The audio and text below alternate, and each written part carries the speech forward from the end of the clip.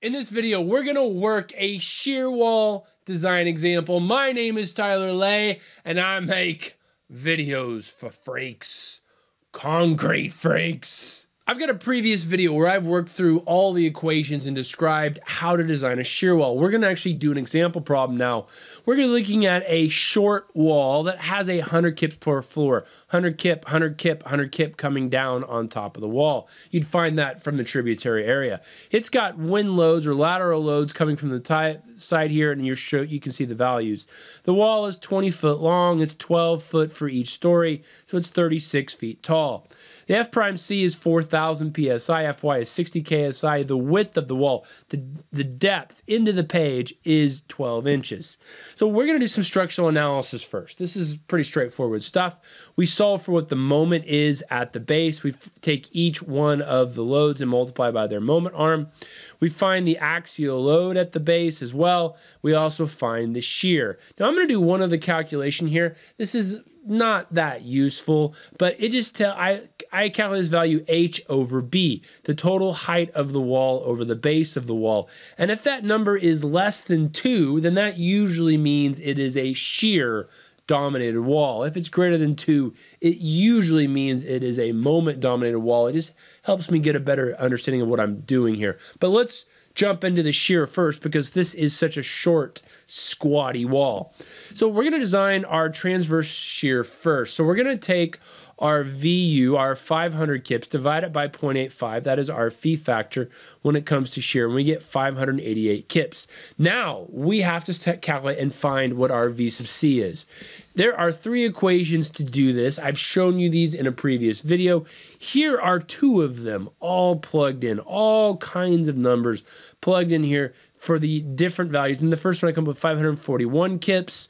This one I plug in, plug in all these nasty numbers. The equations are on the uh, previous video. You can check them out. And we get 407 kips out of this one. Now we have to compare those two equations to root f prime c bwd, which is 291 kips. That isn't large enough to control, so we end up using 407 kips for our shear capacity of our concrete. Next, we have to figure out what our steel, our shear capacity of our steel needs to be. This is just like you would um, a beam in, in case uh, C or B. So we're going to say Vn over phi, that's that 588 kips, minus our V sub C, which is 407, means that we need 181 kips of shear capacity. Now I can get that by this equation here. Now I'm going to solve for AV over S. So I'm going to move everything around here and figure out that I need 0.18 inches squared per foot. Now that is what I need for my shear capacity, but remember there is this AV minimum, this rho V minimum or AV minimum that I have to calculate.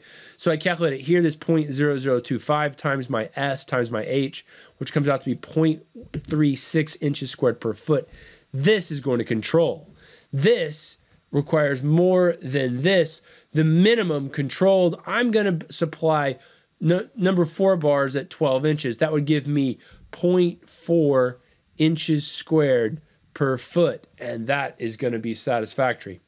Now, I've already designed my horizontal steel. Now I have to do my longitudinal steel. The first thing I have to do is estimate my phi factor.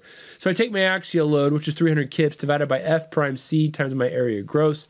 I get 0.026, and I do all of this to find my phi factor. This is my phi factor that I'm going to be using, and it's going to be less than 0.9. It's 0.84. Now I um, use that phi factor to figure out what I have to design for. This 1080 divided by 0.84 gives me um, what my moment is and I put it in kip inches. Now I have to figure out how much steel I need. This is this equation where I've assumed it's 0.9. Um, this a lot of things I simplified it. Next, I'm going to find my longitudinal steel, the steel that goes up and down in my member. Um, and I'm going to plug into this equation. This is simplified from much, much larger equation, assuming a bunch of stuff is equal to 0.9. We're going to check that assumption coming up. We're going to get um, this, and then it's going to simplify once we put it in per foot. This is how many total inches squared we need, and we're going to divide by 20 feet, and we're going to get 1.2 inches squared per foot for our wall. So we're going to try num um, two number seven bars. That happens to give me exactly 1.2 inches squared per foot.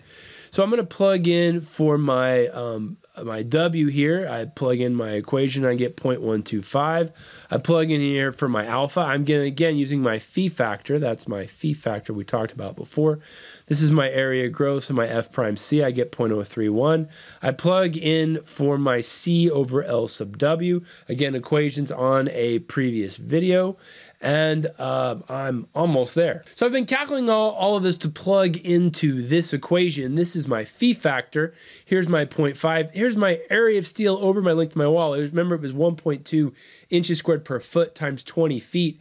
This is 60 KSI. Again, my L sub W, length of my wall is 20 times 12. I plug in, these are all numbers that I found before. This is my phi factor again. This is my axial load.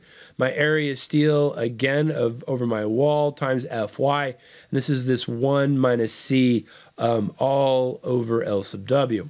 So I get my moment here is 12,674 kip feet, which happens to be greater than 1080 kip feet. Yes! We're good. Now, this is a, about a 17% over design. If I wanted to, I could try to ratio this down. So 14 inches may work, but I'm not going to use that. I'm going to use 12 inches because that's what I needed for my horizontal steel, and I'm going to use that same spacing for my vertical steel. Makes it kind of easy to lay out. Um, so I, I, do have to do check my rho v minimum and it was 0.36 inches squared per foot and 1.2 inches squared is going to be fine. Everything's going to be great. So i'm this is what my layout's going to be. Hey i hope you liked this video. If you did give me a thumbs up subscribe to my channel and of course leave me any comments or questions you have below. Take care everybody. This has been fun. Bye